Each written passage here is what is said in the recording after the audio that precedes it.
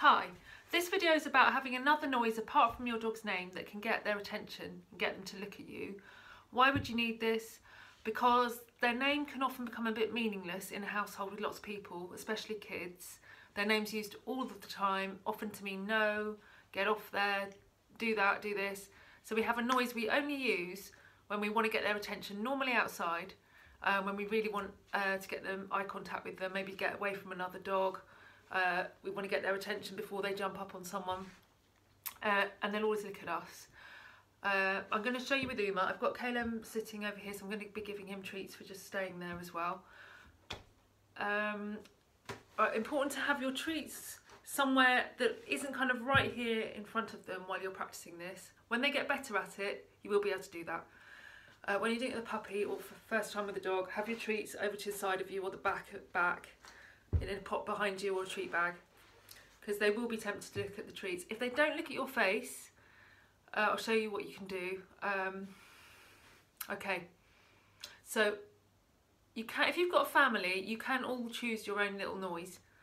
Um, often we, often people are using a kissing noise. Some people don't find that a bit embarrassing. You might want to just say pop up. Um, you can slap your leg. Obviously that can be a bit inconvenient if you've got shopping bags. I do a noise.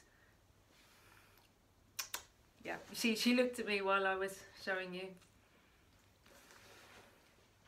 So what you're doing is marking the exact moment that she looks at you. Yes.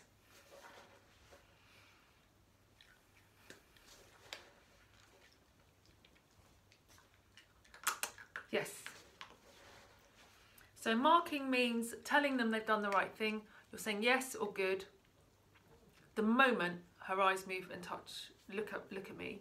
If you've got a dog that's not so good at it, they might just move their eyes slightly in your direction of your face. You can mark that and then raise the criteria over time. Yes. They will get better at it over time. The dog just won't look at you at all. You've got to think about are there just too many distractions going on? Are you doing it somewhere too noisy, too distracting? Um, then you have to think, do they, do they know that looking at you in general is something you quite like them doing?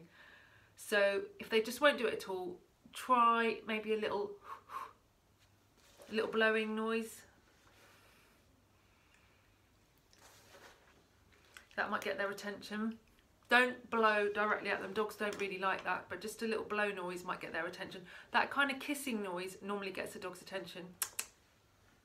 Yes.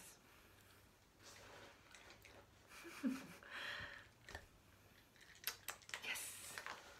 Why I like the kissing noise as well personally is if I've got a group of dogs, so if you've got more than one dog, you can make that noise and they'll all look at you. Whereas if you've got a name, that's not so helpful in a group. Yes, so I, I uh, when I was dog walking, I taught all the dogs I walked to do that so I could get all their attention at once. Yes. Thank you.